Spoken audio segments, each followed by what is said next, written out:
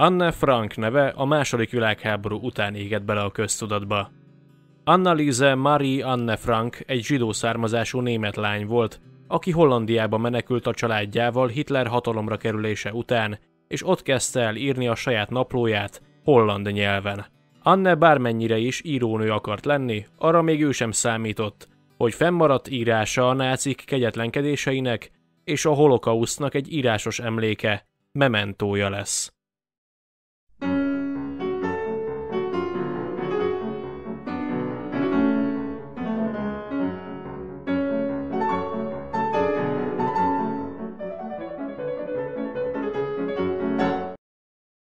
Annalise Marie Frank 1929. június 12-én született a németországi Frankfurtban, Otto Frank és Edith Hollander második lányaként.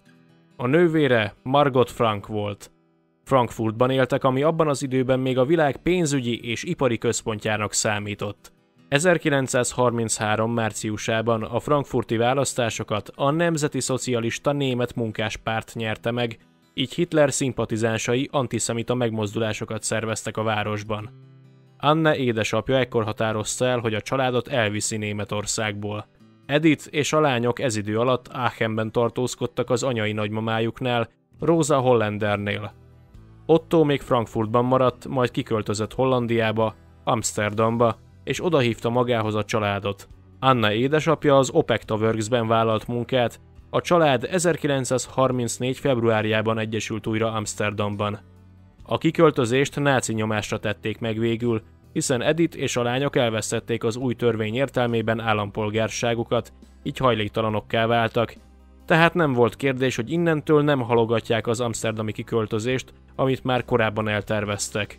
Anna és Margot a város alternatív oktatási intézményében egy Montessori iskolában tanultak, Anne humán beállítottságú volt, nagyon szeretett írni, rengeteget olvasott, és arról ábrándozott, hogy egyszer írónő lesz belőle.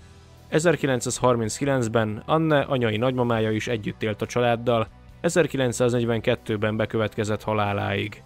1940 májusában a németek megszállták Hollandiát, a zsidó üldözés rövid időn belül megkezdődött. Anna és Margot rengeteg barátot szereztek itt létük alatt, az iskolában is kitűnő eredményeik voltak, mégis az új törvény miatt egy zsidó iskolába kellett átiratni őket. Ez az Amsterdami Zsidó Líceum volt. A ruhájukon innentől a sárga Dávid csillagot kellett viselniük.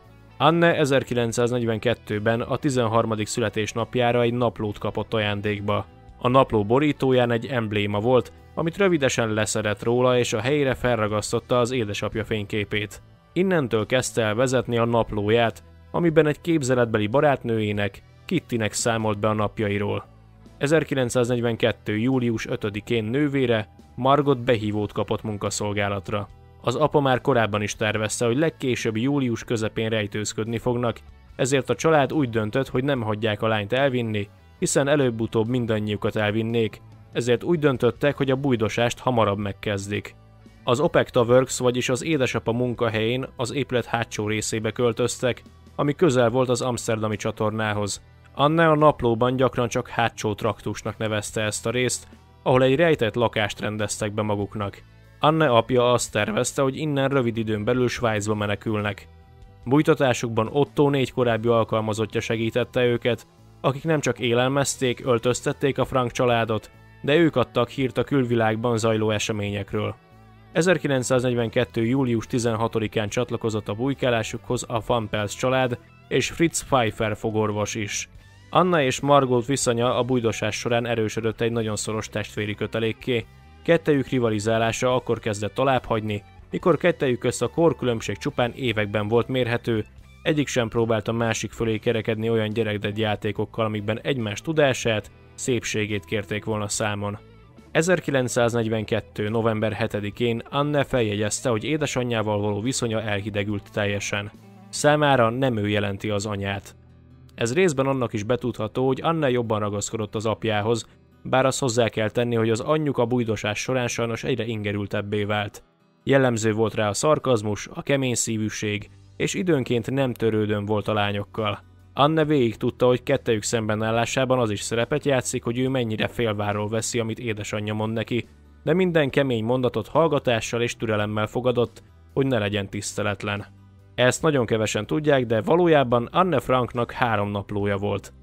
Az első az, amit a születésnapjára kapott, és 1943 végéig töretlenül vezette is azt. 1944 márciusában az illegális Oranje rádióban hallgathatta Gerrit Balkastein beszédét, ami arra ösztökélte, hogy naplóját innentől levélszerű, részletesebb írásokban fogja vezetni annak érdekében, hogy később azokból inspirálódva vagy azokat összeszerkesztve kiadja majd a háború után egy könyvként.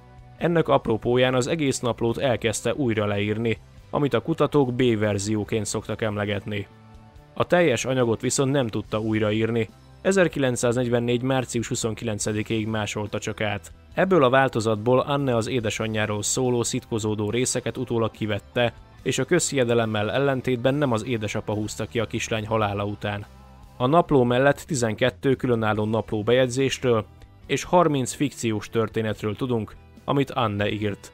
1944. április 4-én Anne Frank a naplójában megfogalmazta, hogy írónő szeretne lenni.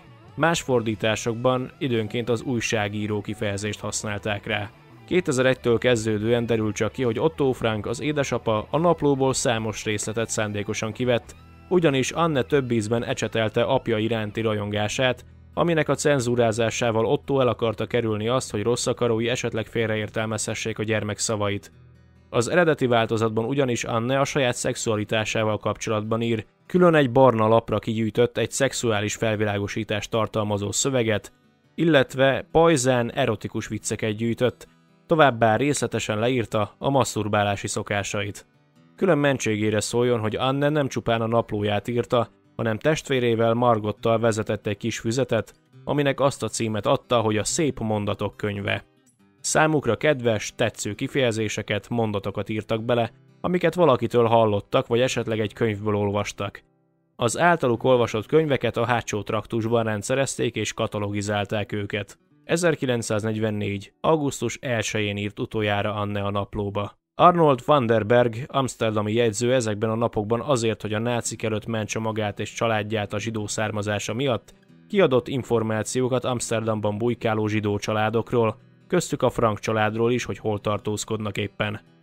Ugyanezen időben tehetett feljelentést szintén Nelly Bepp, aki náci kollaboráns volt, és a Frank család egyik jó barátjának testvére, aki nem nézte jó szemmel, hogy a saját testvére segít zsidókon.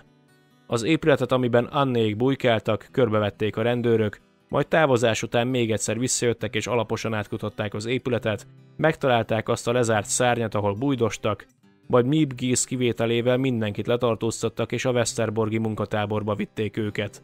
Mib Gies később visszament a helyszínre és a Frank család holmiait, köztük Anne naplóját is elvitte magával, hogy később vissza tudja adni a családnak. 1944. szeptember 2-án a Frank családot vonatra helyezték és Auschwitzba küldték. Ötödikén érkeztek a táborba, ahol az előírt protokoll szerint a férfiakat és a nőket külön választották. Ekkor már elő volt írva, hogy a 15 év alatti gyerekek mivel munkára alkalmatlanok voltak, ezért gázkamrába küldték őket. Anne Frank már 15 éves volt, így ezt még elkerülhette. Raptársai szerint teljesen magába fordult, apjáról azt hitte, hogy meghalt. Más visszaemlékezések szerint teljesen bátran viselkedett és emelt fővel tűrte a megaláztatást. Itt lepte el a bőrét, a rű. Ő és a testvére nappal munkaszolgáltat láttak el, köveket pakoltak és ástak a többi nővel. A két lány itt kórházba került, édesanyjuk rendszeresen félretette a kimért ételadagjából a gyerekeinek, majd Edith Frank egy nap úgy döntött, hogy nem eszik egy falatot sem. Számára az volt a fontos, hogy a lányai erőre kapjanak. A kórházban viszont a lányok a betegségeket terjesztő rákcsálóktól sem szabadultak meg. Már októberben a két lányt és az anyjukat át akarták szállítatni alsó Sziléziába, azonban Anne rühe miatt nem merték megkockáztatni a deportálást, attól tartva, hogy a munkaszolgálatosokat megbetegíti, ezért a frank lányok anyjukkal még néhány napig Auschwitzban maradtak. Október 28-án 8000 nőt telepítettek át a Bergen-Belzeni táborba, köztük Annét és testvérét Margotot. Édesanyjuk Edith Auschwitzban maradt, ott is halt meg. 1945. márciusában tifusz járvány ütötte fel a fejét a Bergen-Belzeni táborban, amiben 17 ezer ember halt meg, köztük Anne és Margot Frank is az első halálozási hullám után nem sokkal. A két lány néhány héttel a tábor amerikai felszabadítása előtt vesztette életét. Anne Frank halálának pontos ideje nem ismert. Otto Frank, Anne édesapja a háború után visszatért Amsterdamba, ahol megtudta, hogy felesége Auschwitzban meghalt, a két lányt pedig a Bergen-Belseni táborba szállították át. 1945. júliusában tudta meg a Vörös Keresztől, hogy Anna és Margot sem élték túl a tábori körülményeket. Otto visszaszerezte a családi holmik egy részét, köztük Anne naplóját, amit elkezdett rendszerezni, kommentárokkal kiegészíteni, majd kiadta. Ezt a változatot nevezik a kutatók a napló C változatának. 1963-ban Otto Frank és második felesége létrehozta Bázelben az Anne Frank alapítványt. Az édesapa a napló kiadása miatt számos bírálatot kapott, különösen azoktól a politikai közösségektől, akik továbbra is szimpatizáltak a nemzeti szocialista ideológiával. Nem egy alkalommal kellett bebizonyítania, hogy Anne Frank egy létező valós személy volt, a saját vér szerinti lánya, Továbbá elő kellett kerítenie egykori német katonákat, akik szerepet játszottak a Frank család letartóztatásában és deportálásukban.